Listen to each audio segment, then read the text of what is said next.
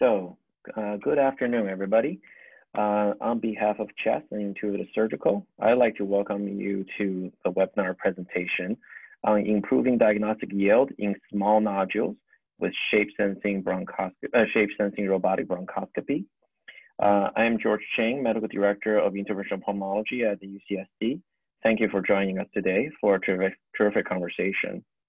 Uh, my first guest today is Dr. Gerard Criner, who is the chair and professor of thoracic medicine and surgery at Lewis Katz School of Medicine at Temple University and director of Temple Lung Center.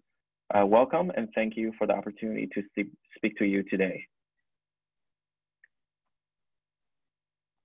And my next guest is Dr. Mohit Chawla, uh, who is the Chief of Pulmonary Service at Memorial Sloan Kettering Cancer Center. Dr. Chawla, thank you for joining us today. And a uh, couple of housekeeping items before we start. Uh, please note, uh, we'll have our uh, audience on mute during the presentation, and please submit your questions on the chat box or Q&A. Uh, we'll address them at the end of the presentation. The flow of the conversation will, uh, will be as such. Dr. Criner will start with the current challenges and data on EMN modalities. Next, Dr. Chawla will provide an introduction to ION robotic bronchoscopy, followed by several illustrative cases from his experiences. Uh, and finally, Dr. Criner will conclude with several of his cases uh, that will be also illuminating uh, for all of us. Um, so Dr. Criner, please take it away. Thanks, George, and uh, good afternoon, everyone. So thanks for the opportunity to be able to present on giving a background review of the current challenges and data on the different EMN modalities that we have to diagnose patients with lung cancer. Next slide, Abby. So why are we here? This slide, I think, shows it uh, in the most concise way. It's because of lung cancer. Lung cancer is the leading cause of cancer death in uh, both men and women. There's approximately a quarter of a million new cases per year, and there's 135,000 deaths per year. This works out to be one patient dies of lung cancer in the United States about every four minutes. Next slide. Now, the reason why lung cancer is so deadly is because we traditionally have diagnosed it at a later stage. As you can see from the data, the US population from 2009 to 2015, patients presented at a later stage 57% of the time, distant stage. And as you can see, the five-year survival is abysmal at less than 3% when patients present at the advanced stages. Next slide. But lung cancer screening has been shown to make a difference. And as you can see from the NLST data and as well as the Nelson data that was recently published overall, we can change the stage and improve patient survival if we diagnose lung cancer and treat it at earlier stages. And as you can see from the prior slide, that we go from 50% plus patients presenting at a distant stage to 50% of patients present at an early stage when lung cancer screening is used. And both the NLST as well as the Nelson study showed we can improve survival by about 20%. Next slide. Now, the opportunities to improve lung cancer's um, diagnosis in an earlier stage is presents a tremendous leap forward in our ability to improve patients' outcome, but it also presents challenges. The majority of the studies that look at lung cancer screening show that small per, uh, solitary peripheral nodules are malignant about 1 to 12% of the time. NLST data was about 2.5 to 5.2% overall. And size matters. If a lesion is less than 2 centimeters in size, our diagnostic yield is about half of what it is if it's greater than two centimeters. So 33 versus 62% diagnostic yields. However, fluoroscopic guidance, endobronchial ultrasound, electromagnetic navigation can all help improve sensitivity. In peripheral lung lesions overall, EMB technologies has shown an increase in diagnostic yield from a range of 59 to 74% in clinical trials of experienced users. Next slide. Well, this is data from the Nelson study. It was in a blue journal that looks at where, in a Nelson trial, where the solitary peripheral nodules were found. And as one can see, they're mainly in the outer third, and they're also in the apical regions of both the upper lobe and lower lobes. So these are somewhat diagnostic challenges for using conventional bronchoscopy. Next slide. And there's some factors besides the size of the lesion and the lobe uh, where it's located and where it's in the outer third versus the central third of the lung. Is the lesion endoluminal? Is it prox uh, what's the proximity to the airway? Is it within two, three centimeters or more distant than that? Is a bronchosign uh, sign present? And what is the orientation of the lesion to the distal end of the scope? Is it concentric or eccentric overall? All these factors can affect our diagnostic yield. Next slide. So this is really what the gold standard is for diagnosis right now in the United States. The use of CT-guided peripheral biopsy, transthoracic needle aspirate. Its diagnostic yield for lesions that are less than two centimeters is about 92%. However, it carries the morbidity of going through the pleura and causing a pneumothorax 24 to 38% of the time, whether an FNA or a core biopsy is needed, and that results in the need for chest tube placement almost 6% of patients overall. Contrast that with flexible bronchoscopy with EM, EMB or EMN, the diagnostic yield is about 20% lower at 73%, and a pneumothorax rate is half, but it's still about 3% of the patients will need an intervention. Next slide. So there's clearly room for us to move with bronchoscopy to improve the diagnostic yield and be a more safer opportunity for the patient. Well, if you look at what impact EMN has had over the last five years, if you look at Medicare data overall, it hasn't done much to erode into the number of patients that are getting TTNA with CT guidance. You can see it still remains at 59% in 2015 compared to 2010. And there is less people getting conventional bronchoscopy and more getting uh, uh, bronchoscopy guided with EMB, EMB. That's almost quadruple from 2 to 9% but it hasn't eroded into the need for TTNA. And if you look at lesions less than two or greater than two centimeters, as reported in the meta-analysis by Wang Memoli, we're at the 61 to 83% range based on size of the lesion. Again, skilled users. But if we go into a more broadened group of, uh, of practitioners using it and look at the AQuIRE registry overall, our yields are much lower, 47% less than two centimeters, 53% greater than two centimeters. So this raises the next question. Do we have technology that we can broaden this, that more people can get treated closer to home in their community? Next slide. So overall, this is the landscape that exists right now in the United States to diagnose patients with lung cancer and arrive at our endpoint to treat them. You can see that patients with SPNs can be diagnosed by LDCT, or they can be found incidentally on other imaging changes and then they go to their GP, and there's a little bit of uh, football passed in between the pulmonologist to the interventional radiologist, or from the pulmonologist to the um, uh, the uh, interventional pulmonologist who does advanced bronchoscopy. Next slide.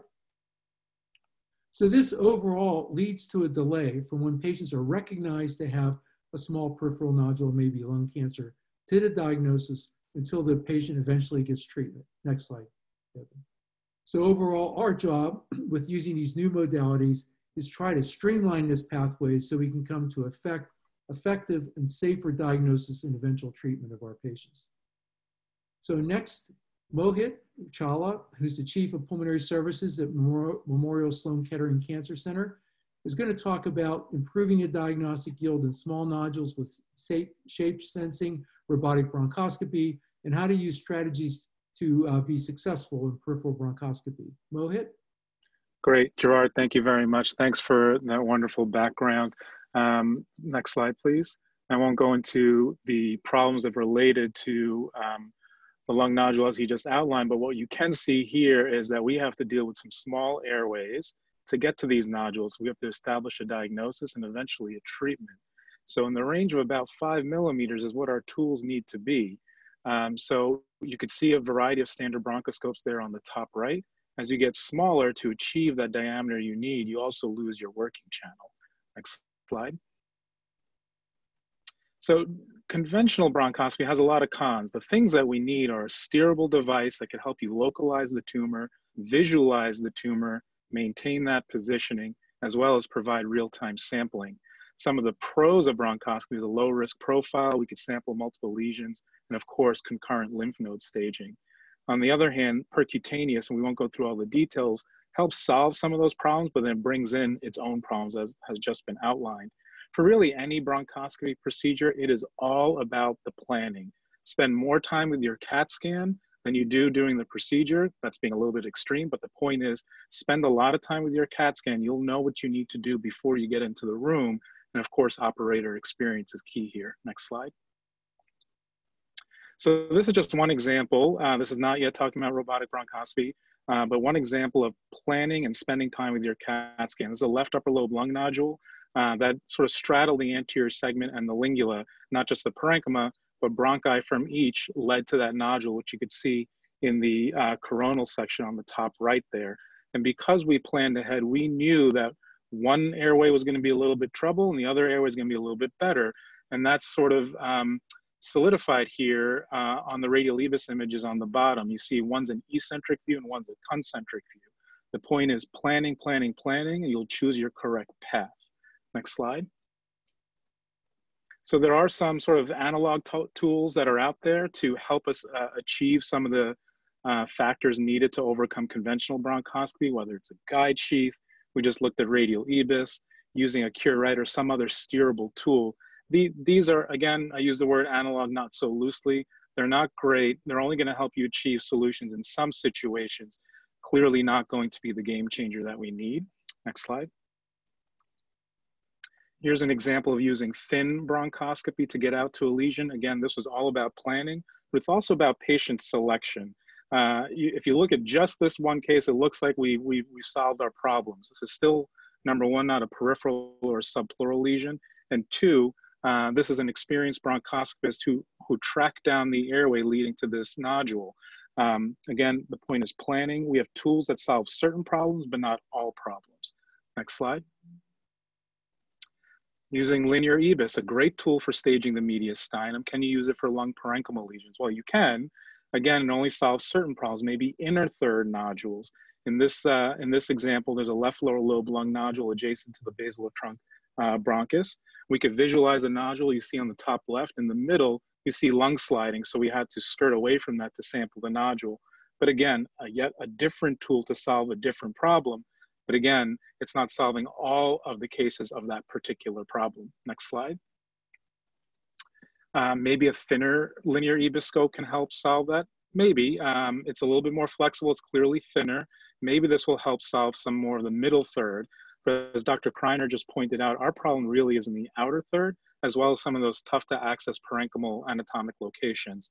And thus far, we don't really have that solution with what I've outlined uh, so far in these slides. Next uh, slide. There's some tricks up our sleeve. Either, either an advanced bronchoscopist or a gastroenterologist can slip a scope down the esophagus and find parenchymal lesions that happen to be abutting the esophagus.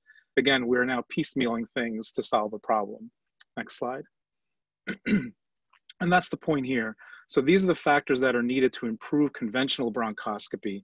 I put some in yellow, some or whatever color that is, some in green, and you can see it's a hodgepodge of solutions, and none of them are all that great. They're complementary, which is nice to say we have a full armamentarium, but we're really still not solving the problem. In the end, all of what I outlined has a very modest diagnostic yield. I didn't go into electromagnetic navigation as that was outlined already in the earlier slides. Next slide. So where have we come to? So on the left, we have thin bronchoscopy, uh, which I showed you one example of. Then you can, then moving into electromagnetic navigation in its sort of earliest generation using still a conventional bronchoscope, larger size scope to accommodate that EM tool, which then has to be sort of manually driven based upon the navigation platform. And we've already seen this pretty modest uh, diagnostic yield.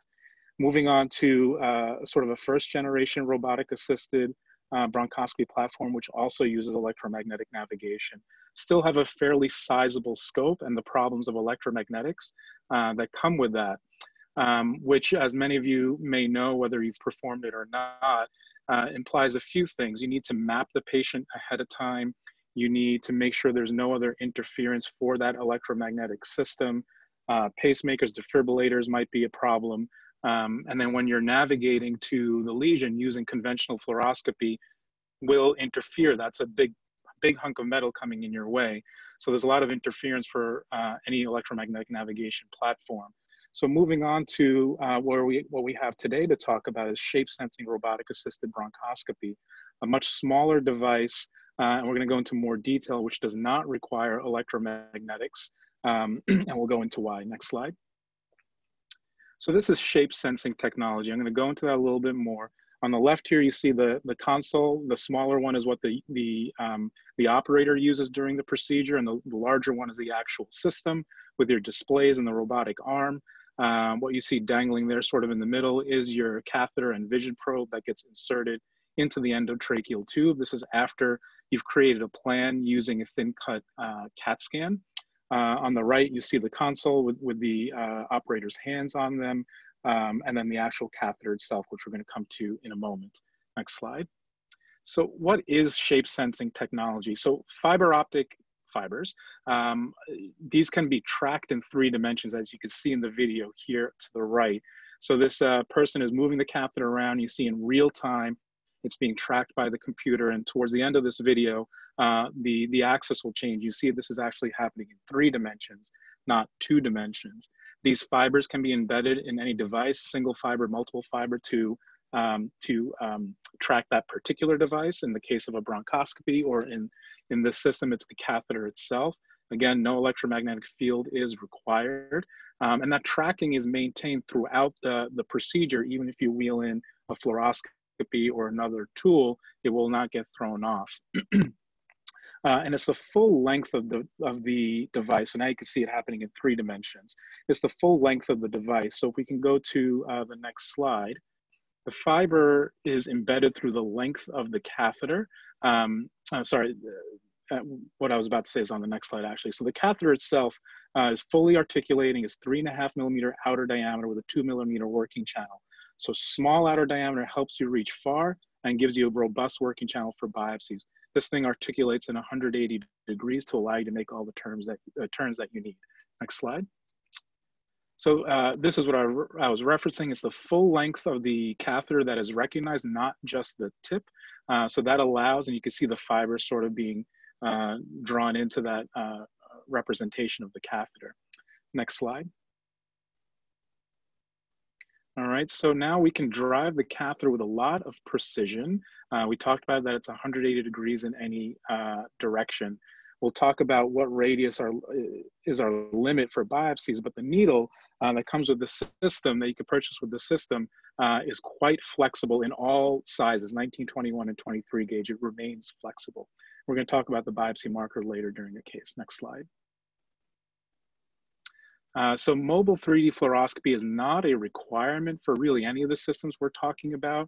This is an example of what can be done to augment uh, in certain situations. So as a mobile system provides 3D fluoroscopy um, sort of cone beam CT-like images, spins around the patient to obtain those fluoro images. Uh, and we'll go through a couple of cases later. Next slide. So you can see two sort of uh, just sort of perfect cases where we didn't actually require the 3D fluoroscopy. It was used to just confirm, uh, maybe appease uh, our, our own psychiatric illnesses. But using the Ion system, we're able to navigate out based upon our plan get to the nodule on, based upon the navigation, drop in the needle, and then we did the 3D spin to run the fluoro. And you can see in both cases, see the crosshairs here in axial coronal and sagittal cuts, that the needle is smack dab in the middle of the nodule. So in these two cases, we only use a 3D fluoro to really appease ourselves, but the navigation hit the nail on the head. Next slide.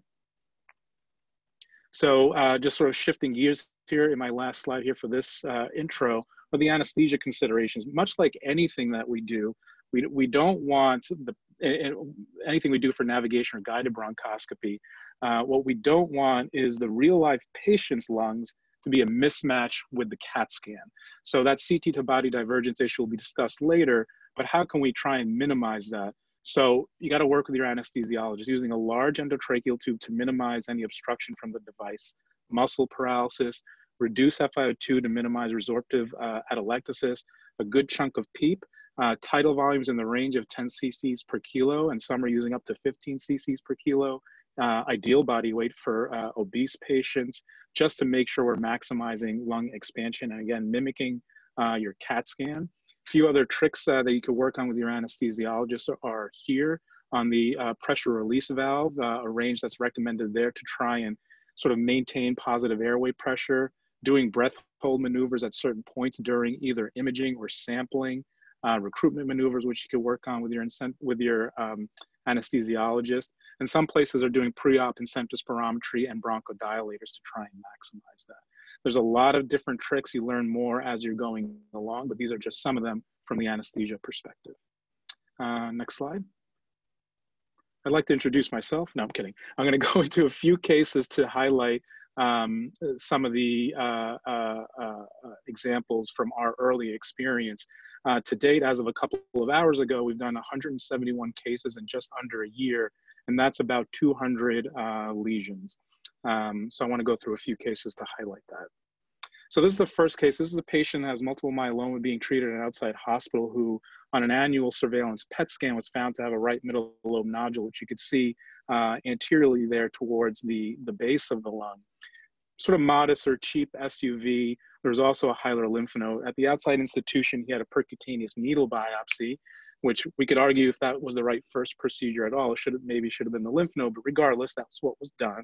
And it was non-diagnostic. So uh, the patient's uh, nephew is an interventional pulmonologist somewhere else in the country and called me to see the patient. So he came to see me to consider a, an EBUS of the right hilar lymph node. Um, but we said, sure, we could do that, but why don't we sample the lung nodule at the same time? So next slide, please. So we uh, planned this on the Ion system, and I warned the patient that, look, I don't see a leading bronchus or some other features that are sort of favorable uh, to do this, but I think it's fair to give it a shot. It's low risk. Uh, and we did it, and sort of the first drive out there, uh, we were right in the nodule, um, and the biopsy showed non-necrotizing granulomatous inflammation. So that was very rewarding, um, and the lymph node was um, benign as well. So the point of this case is a couple of things. One is you'll be referred uh, patients for a lymph node, uh, but actually there's a lung nodule as well, and you may be able to do both in the same procedure. Um, because of the reasons I outlined earlier from the anesthesia perspective, we sort of flip things on their head. You may want to do the lung nodule first as opposed to the lymph node first to sort of maximize um, the patient characteristics intraoperatively um, so you don't have ongoing atelectasis while you're staging the mediastinum. So it's a little bit different than before where we used to say stage the mediastinum if you have a you know, maybe a, an N3 lymph node that's positive and adequate for molecular, then you may not need to sample the lung nodule. That's a little bit tougher now um, because you want to optimize your peripheral bronchoscopy first. The second thing I want to highlight here is you don't always need the perfect CAT scan. Uh, you need you need a good plan. So, like I said earlier, spend time with the CAT scan. And we won't look at it now, but there was a blood vessel reading, leading right to the nodule. So I figured there must be a bronchus there too. And I, I made a fake plan, which is um, why you see on the right here um, the uh, biopsies, which are those little harpoons in the sort of middle of the image below the green line. Those harpoons are not going into the blue target because I made a completely fake pathway and figured I'll, um, I'll, I'll, trust um, my ability to drive in the bronchus. So trust your, your plan and your, more importantly, trust your time spent with the CAT scan. I can't say that enough. Next slide. So that was one of maybe it's in the lymph node. This is one maybe that it's definitely in the lymph node. This is a patient I've been following for about nine years who has laryngeal squamous cell carcinoma or used to NED from that. I followed for waxing and waning pulmonary nodules. Now, out of nowhere, has a large left upper lobe lung mass, which you cannot see on this slide, and some AP window lymphadenopathy. And what you could see um, is there's a, there's a bronchus adjacent to the AP window lymph node, and just proximal to that, you see a contrast-filled vessel. Uh, so bear that in mind as we go through the, the next slide. So using the uh, planning software, we planned both the lung mass as well as the mediastinal lymph node. We did the lung mass um, because that was a sort of a straight shot. I wanted to make sure we got something settled before I went probably where I shouldn't be going. Um, and we, we planned the AP window lymph node. And um, you could see again where the biopsy markers are on the image sort of below the green line we're just catching the blue target. And that was intentional Um, what we ended up doing was a couple of things. We drove and we were staring straight, straight at the lymph node. Uh, all the way to the bottom right of the image, you see a tip bend radius of seven uh, millimeters, which is super tight. Um, Jeff, if you're on the call, you could, you could yell at me later. Uh, we didn't break anything. Um, but we had to adjust to make sure we can make the turn with our biopsy tools. And also that blood vessel that I mentioned, I wanted to be sure that I skirted it with my biopsy tool, which is why I skirted to the side of the lesion. And you could see on the left here, we were able to get carcinoma. So you can stage um, certain mediastinal lymph nodes that you cannot get with linear EBUS as well. Again, all in the same sitting. Next case, or next slide. So uh, I call this one just a bit outside. So uh, if there are any Bob Uecker fans out there, you'll get my reference. This is a patient with rectal carcinoma who, who showed up to IR for an outpatient biopsy of that right lower lobe lung nodule, and she showed up hypoxic, um, probably in the setting of her emphysema, nothing to do with this nodule. So she was admitted, uh, and they called us to do an EBUS of the lymph nodes, figuring that was a, the lowest risk procedure um, given the hypoxia. Well, no one really was concerned about the lymph nodes. They were probably reactive. So we said, sure, we'll do the lymph nodes, but while we're there, we'll do the lung nodule as well, because that was the preferred clinical target. Next slide. So I call this just a bit outside because we were saying hello to the chest wall. So on the left, we navigated, we identified uh, the uh, lesion under navigation, and you can see we have an eccentric view of the nodule. Uh, we made some adjustments. I didn't put the picture there and then had a concentric view. Uh, and then on the right, we passed the needle, which is the bottom right image, and you could probably tell it's going a little bit further than where the radial EBUS probe was. So that's an operator error. Um, and then on on the, the 3D spin on the top right image, you could see it's past the ribs in the chest wall. No pneumothorax, but I highlight this uh, next slide for two reasons. One, pay attention to what you're doing. And two, you see the blue part of the fluoro. This is a, a fluoro capture mode where you could say, where was I in the last fluoro? So I could use that as a reference point for my next steps. So that blue is where the needle was. And then I adjusted the drive because like I said, I didn't pay attention uh, before I put in that needle. We adjusted concentric view, got, got the needle in on the 3D fluoro, um, and we got a diagnosis. And she went off to SBRT. It was not a metastatic lesion. It was a new uh, primary lung cancer. Uh, so again, the operator matters too. Don't, don't trust uh, all of the systems. I'm not trying to denigrate any systems that are out there, but the operator has to do something. This is the same thing I said about 10 years ago for electromagnetic navigation. Don't trust the system, trust yourself but yourself has to have experience as well along with the quality system. Next slide. This is our very first case we did in October. Uh, someone who had a new incidental esophageal carcinoid staging CAT scan identified this subsolid lung nodule, went to IR. You can see on the right, the needle is probably in the lesion or close to it. A lot of hemorrhage, and then they couldn't really do much after that, and that was non-diagnostic. Next slide sent to us. We planned a navigation bronchoscopy with uh, the Ion system. We drove out there and it was exactly what the plan defined, which was we were gonna come over the top of the nodule. We have a nice concentric view on radial EBUS. You could see the, the bronchus on the bottom right there's a little bit obliterated. Uh, next slide. So what we did is I actually steered away from it on purpose because you see the purple anatomic border on the top right, just below the nodule. That purple is the fissure. I, I wanted to make sure I stayed away from it. It was just another millimeter away than uh, the distal end of the nodule. So I steered to the edge of the nodule so that I can get into the lesion. And uh, we identified uh, granulomatous inflammation and histiocytes. Uh, and this lesion, about nine months later, almost has disappeared. So a lot of different features that I've talked about during these various cases. And, and Dr. Criner is going to talk to us about a little more. Next slide. So let's, um, uh, we, we went through this already. So next slide, I'd like to introduce again, Dr. Criner uh, to go over his cases and his experience from Temple University. Thank you very much.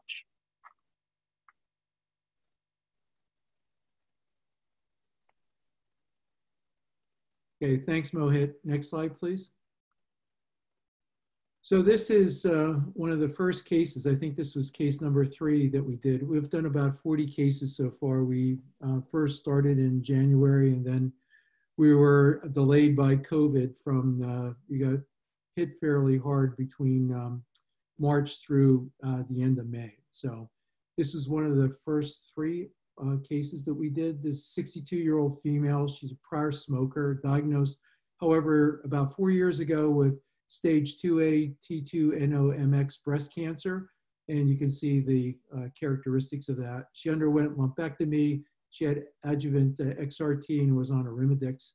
And in follow-up, her um, oncologist found an incidental left upper lobe 13 by 12 GGO identified on HRCT, and it was done as part of an observational CAT scan done on a clinical trial. And it had faint PET positive SUV of about 1.8. Yeah, I think you can barely see on the image down to the right. Next slide.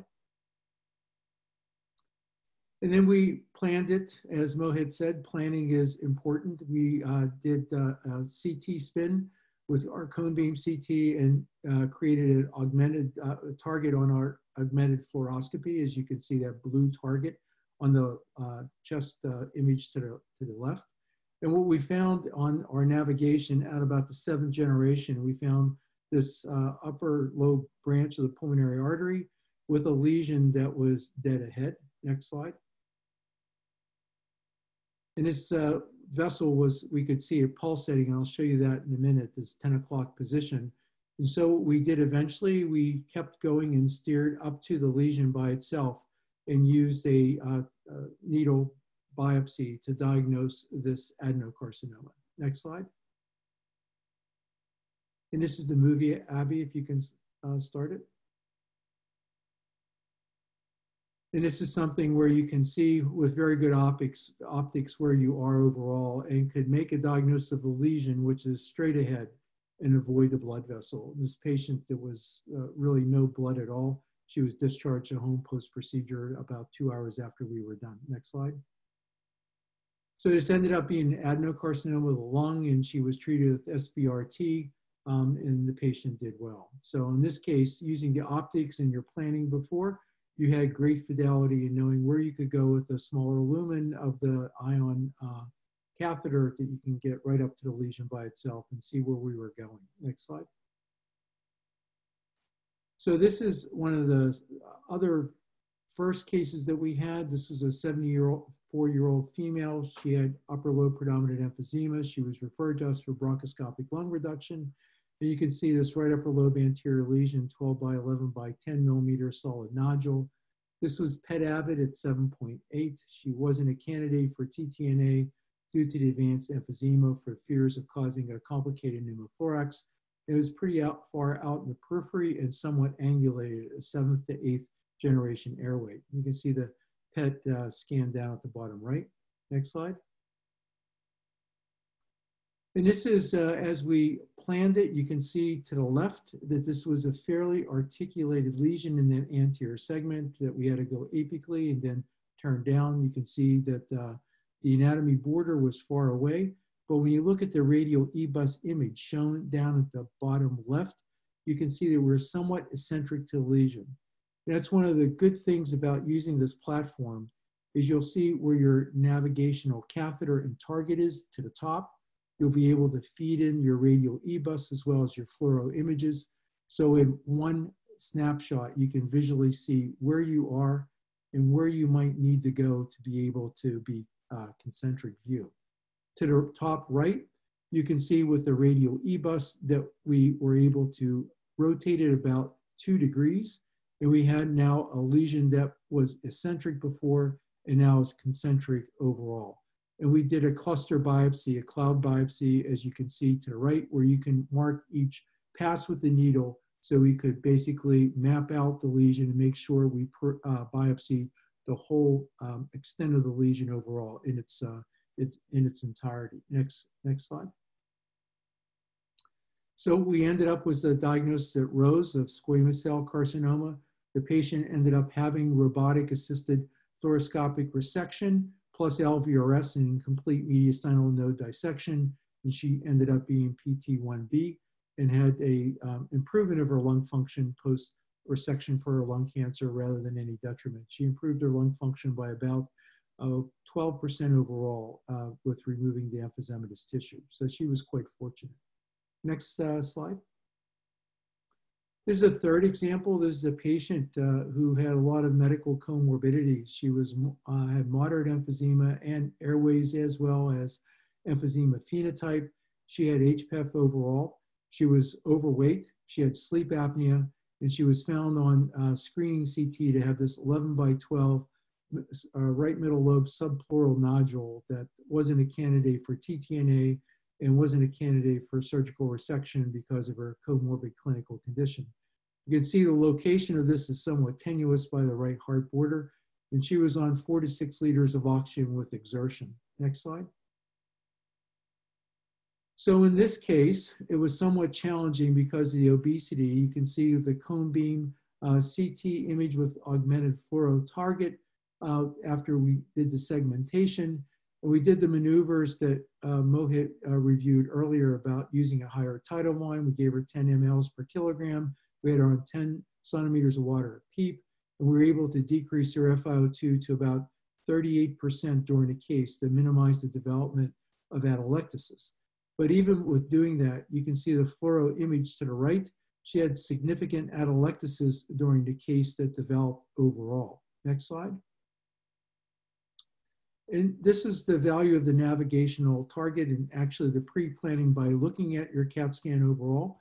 We ended up, to, in this case, that the augmented fluoro image was somewhat off during the development of atelectasis during the case than what the ION planning software was during the case by itself. When we were able to manipulate with using the ION plan platform with using radial EBUS to get a concentric view in the bottom left that we saw that was somewhat off of our fluoro image. So fine adjustments allowed us to overcome the CT body diversion by using a combination of our planning software and our radial EBUS to come to the right, um, the right location. Next slide.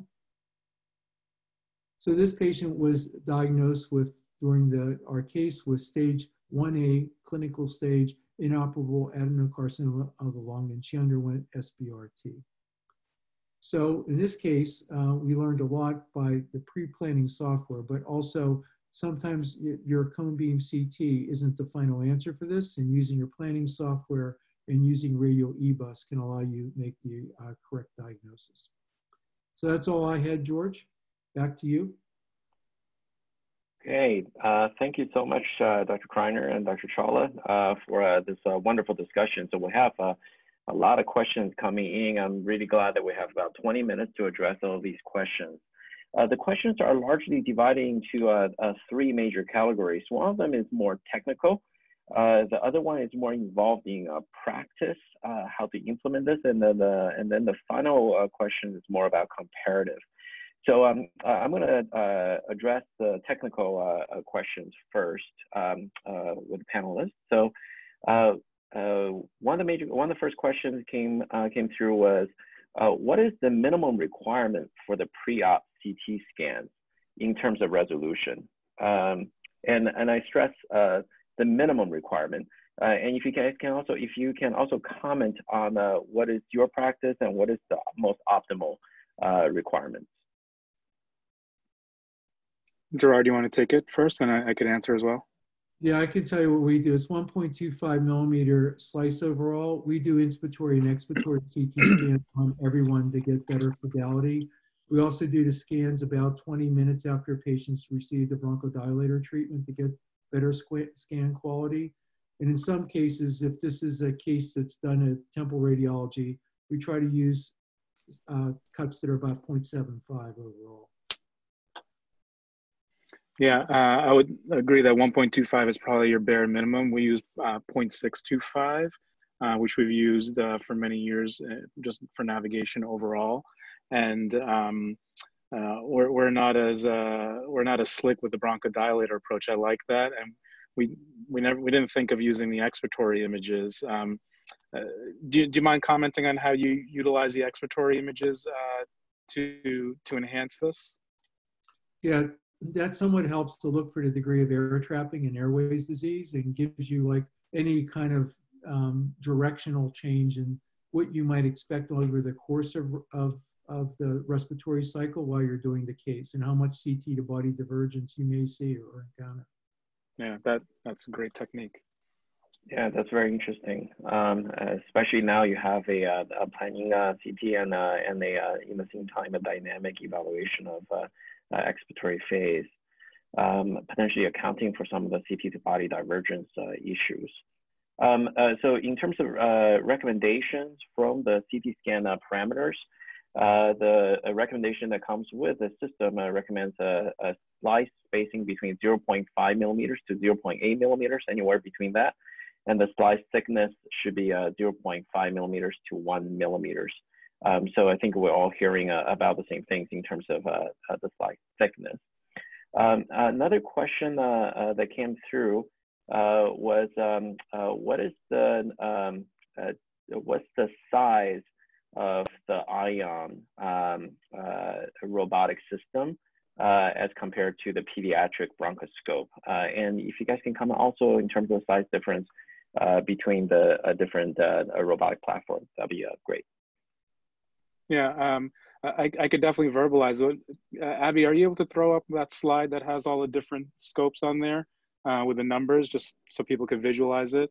Um, the, the Ion is three and a half millimeters outer diameter, um, while a uh, P190 scope or pediatric scope is 4.2. So this is smaller than a pediatric uh, scope, at least the, the P190 from Olympus, with the same size working channel.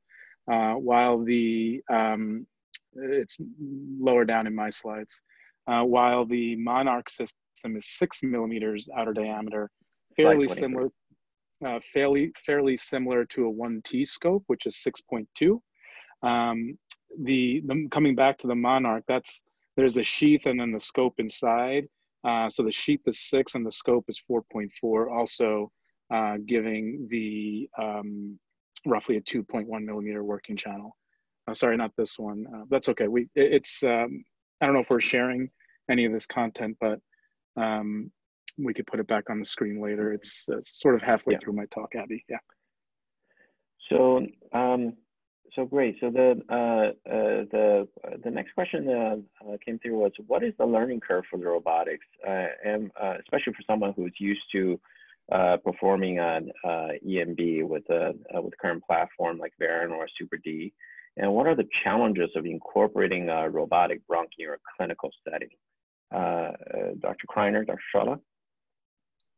you know, give some uh, kind of like recommendations because uh, I'm not someone who's an interventional pulmonologist trained. I'm just somebody who's done a lot of bronchoscopy as a general pulmonologist overall. And to me, the major challenge in the learning curve was where to position all the equipment in the room to make sure you had easy access to it. And, you know, that took about two to three cases that have your workflow in to um, have your bronchoscopy tower and clean out the airway and where were you going to position it so you could go back and get the radial EBUS and where the anesthesiologist was and how big is your cone beam set up and then bringing the robot in to make sure it could all fit seamlessly when you're doing it and then have your workstation behind you to prepare your slides and materials and hand you things and then have a ROSE set up in the room.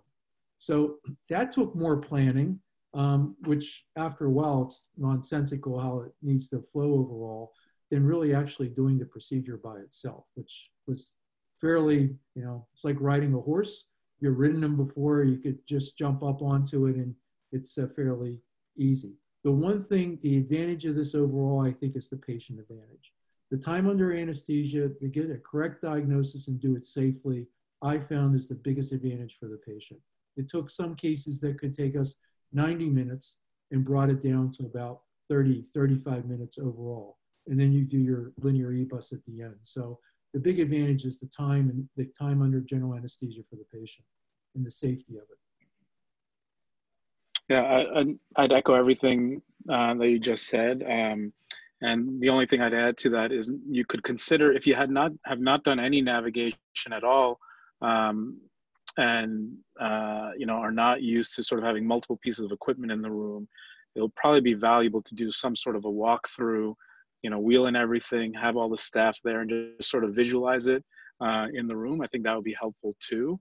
Um, but much like the procedure, starting a program is going to require you know reasonable amount of planning, working with um, your bronchoscopy staff, whether it's uh, nursing or respiratory therapy, anesthesia staff, making sure you have your supplies and all that kind of thing. Intuitive offers a great program to help you uh, get up and running from not just a logistical standpoint, but also a training standpoint. All, all of that is uh, key. In terms of number of cases, I, I, can't say I have a specific number of cases um, that I could report back from my experience. We've been doing navigation and guided bronchoscopy for a while, so this was more about learning the very specifics of this technology, not learning the the overall um, issues related to peripheral bronchoscopy, which is a beast of, in of itself. Uh, along the same lines, um, uh, if uh, if uh, uh, could you comment on the use um, of Ion, the advantages uh, over some of the ENB technology that we have right now, say Veran and Super D? Um, are there any advantages from your experience? So I'll re-highlight uh, one thing that I mentioned in my talk is the, the, the actual technology itself, that being shape sensing versus the electromagnetic. Um, so uh, the electromagnetic uh, can, can be disruptive in a variety of different ways, mapping, getting them lined up on the table perfectly right, um, disruption from things like fluoro, concerns related to defibrillators, pacemakers, uh, and so on and so forth. The the other thing is that uh, generally these are tip-based um, technologies, meaning that really you can only identify where the tip is rather uh, than the whole catheter, which we see here in shape sensing, which is uh, it's it's real time, as I showed you in that video where that uh, person was sort of twiddling around that catheter. You see it in real time and in all three dimensions, which I think adds a lot of fidelity to the navigation and the act, the, the the precision related to the navigation itself. Uh, and we already just went through the size of the mm-hmm. device. I think that makes a big difference too. Yeah, I think um, George, from from my experience overall, comparing it to using you know steerable bronchoscopes, even including the ultra thin that we have, the ability to go out to the seventh and eighth generation routinely, find lesions that are eight to nine millimeters, some of them GGOs, which everyone knows how difficult those are to be able to locate even with using radio EBUS, and in highly articulated segments in disease lung, like that case I showed you with emphysema. The ability to use a smaller catheter that's steerable, is shape sensing, so it's relatively smooth and atraumatic to the tissue, and then can hold its shape and then manipulate it by two or three degrees and perform multiple biopsies. That's what I see as the advantage to this. That's why I think technology like this will be disruptive to how we diagnose and eventually treat lung nodules that are cancerous. So, uh, so one of the questions that came through is exactly uh, uh, talking about these type of precision, um, uh, the increased precision that we uh, we, uh, can obtain with the robotic platform. So, can you talk about how you're able to obtain a concentric radio EBUS signal from lesions in the lung parenchyma uh, by using this type of precision technique. Sorry, yeah, go ahead. Yeah, go ahead. Challenging when it's outside the airway wall, uh, but you can uh, bend the tissue a little bit to get a better view. And like Mohit showed in his cases, you might have not, you never plan just one pathway. You try to plan at least three or four pathways. At least I try to do to go, in one case, went above the vessel and bend down to go on top of the lesion. The other thing that you can do is you can perforate the airway and you can put your radial EBUS probe through the airway to get a better picture of the lesion while you're biopsying. Then Mohit, I'm sorry I cut you off. No, no, not not at all. Uh, that that last point was the key one that I want to highlight. You could sort of create uh, your access point uh, in terms of a leading, effectively a quote unquote leading bronchus. Um, and uh, if you have a lesion that's not in contact with the bronchus, you may not, you simply may not get uh, a quality radial EBUS image, and that we have to accept the limitation of that technology. But with the navigation, um, you'll be able to define the angle that you need to take out of the bronchus and the distance to the lesion, uh, as well as the outer limit of that lesion, um, uh, so that you can access it. Yeah, this, uh, this, this obviously leads up to the next question, uh, which people are asking. Uh, what are your, anecdotally, what are your uh, diagnostic yield uh, with the robotic system and, and how are you achieving that? Meaning what type of tools are you using? We're we're using everything. Uh, we've only used brush a few times to be to be honest, only because we're happy with uh, the flexibility of the needle and uh, the abilities that it provides. So um, we use needle across all the cases, uh, and we use forceps in probably in half to two thirds, depends on the operator, probably is what it boils down to. Um, and then in certain cases, uh, we wouldn't use it if we're a little bit too close to, say, a blood vessel, uh, or in my case, or I'm in the chest wall. Uh, there are certain times we're just not going to use the forceps. Um, the uh, what we don't know yet, but we're looking at what our ability to get molecular and next generation sequencing. It, it seems promising, but I don't have any, numbers to report back. We're actively looking at that now. Um, I think someone uh, uh is going to ask, probably going to ask about number of passes and adequacy. Um, so we could come to that if that's a later topic. But uh, in terms of molecular, um, I don't have an answer just yet, but it seems like we have some promise. Yeah, our experience has been somewhat to the range of diagnostic tools and the reasons for it that Mohit just outlined.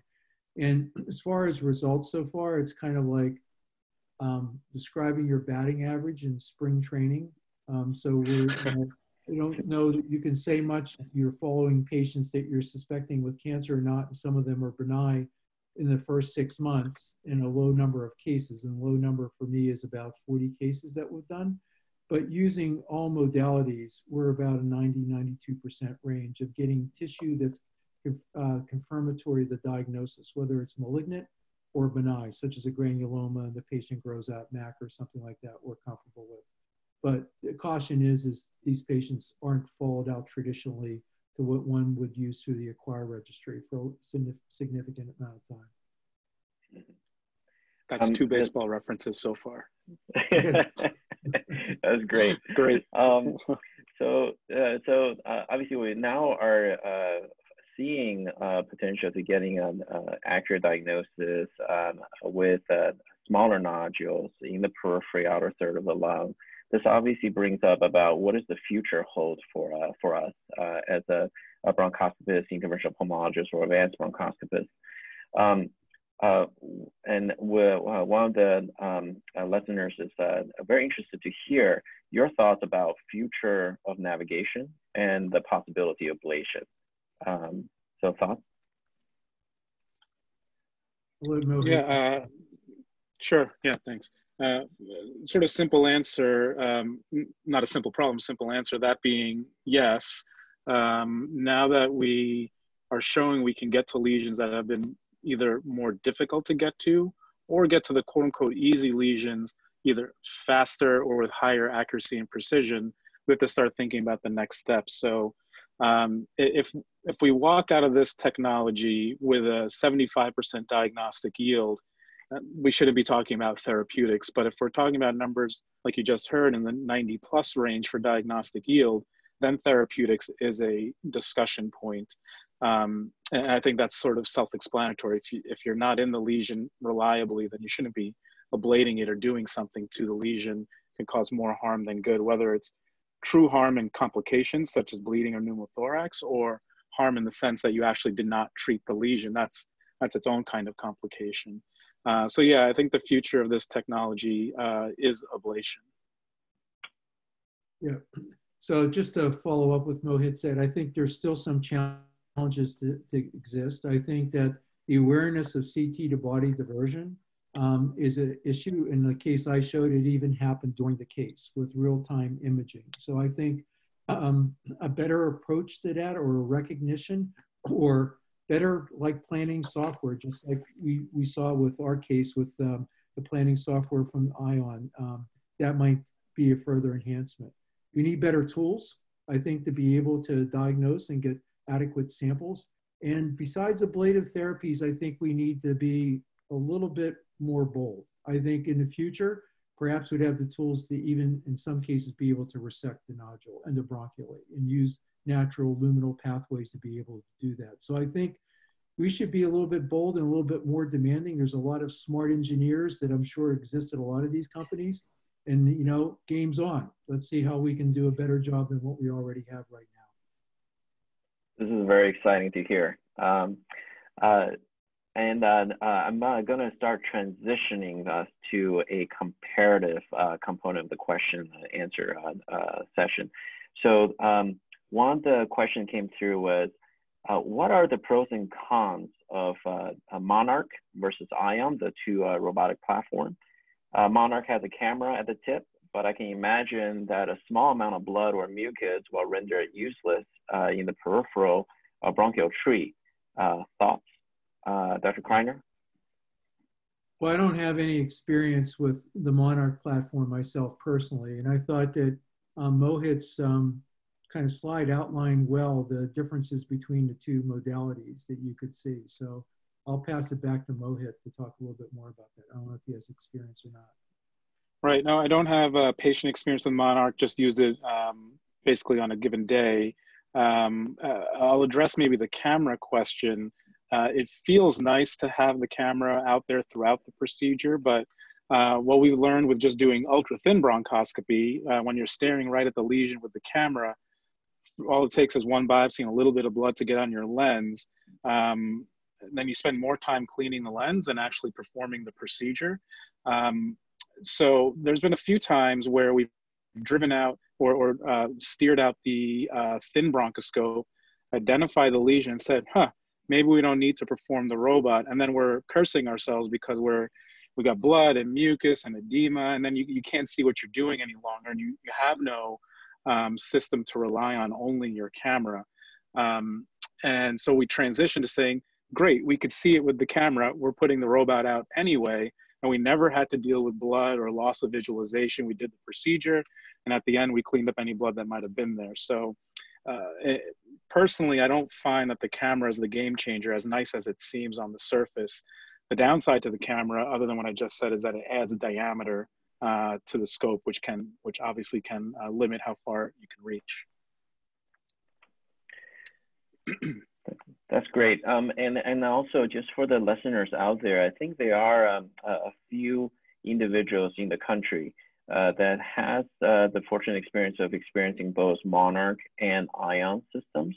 Uh, and uh, uh, please feel free to reach out to um, to the organization organizers and and also Ion to um, get their contact information, and they can provide you with additional input from from their personal experiences.